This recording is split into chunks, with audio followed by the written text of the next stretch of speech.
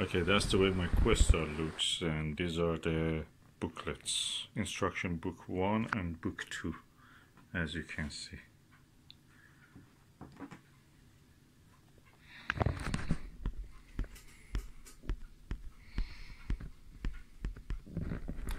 Let me show the Dobsonian mount that I was talking about.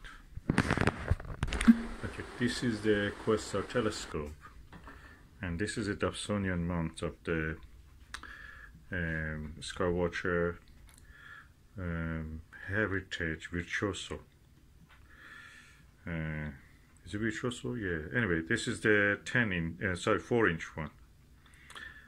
And uh, yeah, I've used a, a tiny um, dovetail bar which came with a telescope and is attached here to the finder area of course this tube can turn now. The finder is not there. As you can see that orange dot is the finder. And the telescope is on this and it's very stable and it can turn. I can just you know turn it up and down. Of course I can lose it up loosen it up. And uh, really uh, better than the uh, any other mount you can install it tripod or something you. Can use it inside the home on the table or anything you like. Uh, it will not track but uh, for tracking you, can use the virtuoso a heritage Skywatcher heritage virtuoso one that is four and a half inch mount which has the tracking thing and decoding system.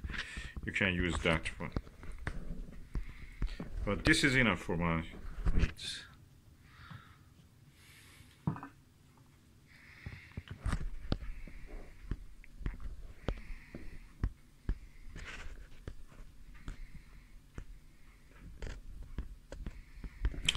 and this TeleVue lovely TeleVue adapter so I can use now one and nine one and a half inch one and a quarter inch eyepieces on this including surprise surprise Ethos uh, 13 millimeter or uh, APM 13 millimeter and all the myriad Skywatcher myriad uh, three and a half to to uh, nine millimeter and I can use all the Pentax eyepieces if they're not 2 inch. I can use adapter here for 2 inch, but that will not give me any advantage. And that's it. That's perfect for all the uses that I want. And uh, let me show you my uh, um, Celestron C90 Mak. Compare it with this one. So this is the Celestron C90 Mak Maksutov, and this is another Maksutov Questar they're very similar. This is 89 millimeter. This is 90 millimeter. Uh, I mean the aperture size of the mirror.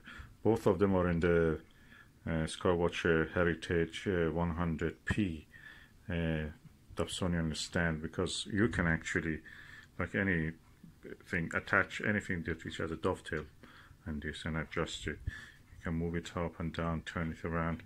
It's really good, versatile, and uh, really enjoy this too the image quality I've been, I've been I'm very happy with this one. I've not tested really extensively on the planets especially. Uh, it has been cloud as usual when you get new stuff clouds will come. But I can say that both of them are good. And uh, I, I think this I've heard already that they can be out of collimation. I feel it's slightly out of collimation not much. This is perfect I could see more many details on the Mars and you just have to let them for uh, sometime cool down in the temperature ambient temperature of the surrounding uh, your observation place and then that will be perfect for your work.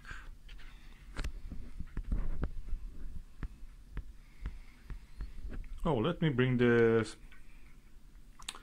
uh, Meade X uh, ETX 90 let's just see how it looks. Compare it with these two